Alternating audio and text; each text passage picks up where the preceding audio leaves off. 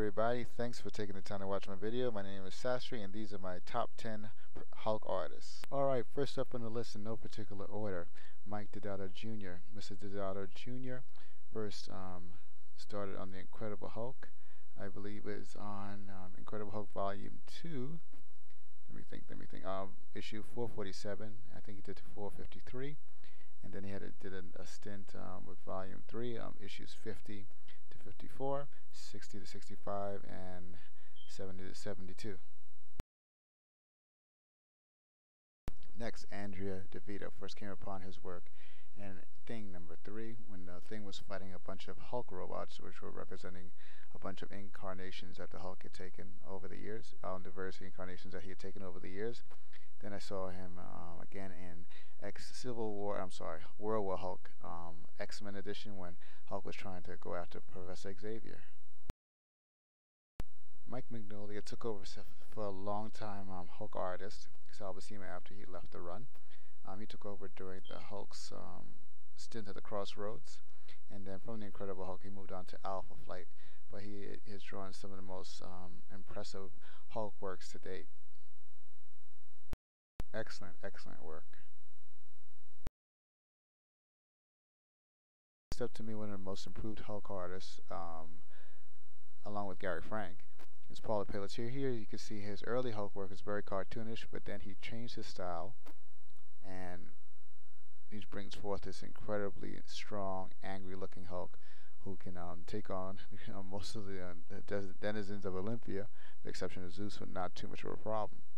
Beautiful work on the Hulk, and um, I always enjoy reading his books over and over again.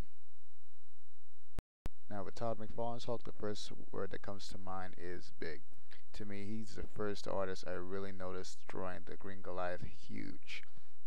Um, he first came in um, during the Incredible Hulk's um, Gray, Mr. Fix-It stage along with Peter David, and his storytelling abilities with his art really, really got the point across and really helped keep things interesting with the Hulk. Next up, we have one of my favorite artists of um, all time, Mark Bagley. One thing I liked about Mark Bagley's Hulk is he was able to distinguish between the normal Savage Gray Hulk and also the Professor Hulk, which had the brain of Bruce Banner. And a lot of artists do not distinguish between Banner's um, Professor Hulk's face and um, the regular Savage Hulk's face, but Mike Bagley did a perfect job of doing that. We're coming to um, Sal Buscema a long time Hulk artist. He had a 10 year run I think he started like Incredible Hulk 193 and ended right in the middle ended right in the middle of the Crossroads saga. I most enjoyed his his Hulk work when it was inked by Joe Sinnott.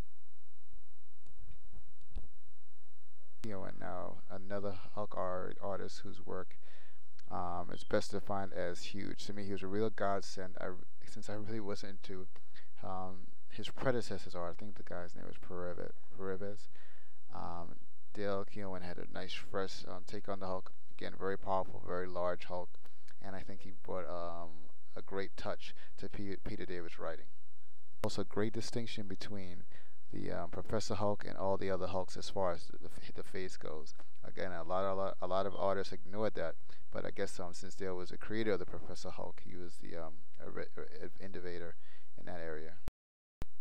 McGuinness, good thing about Mr. McGuinness's work uh, when he was drawing really big, powerful guys, he made them all pretty much look, look like um, super enhanced bodybuilders, and um, it certainly worked. It certainly worked. Fantastic work on the Red Hulk saga as well as um, the Fall of the Hulk saga. Did some great um, work on stories like um, the Hulk fighting the Wolverine and the X-Men, as well as um, Mr. Hyde and uh, not to mention the Juggernaut and the Absorbing Man. Um, very nice work. Um, I would like to really actually see his brother do some Hulk work, but you know, kudos to Adam Kubert for his fantastic work on the Incredible Hulk. There you have it, gang. My top 10 Hulk artists. Um, if there's someone you felt was um, omitted from the list, or you have any comments, please let me know, and um, look forward to hearing from you. Please like and subscribe, and um, see you next video. Thanks.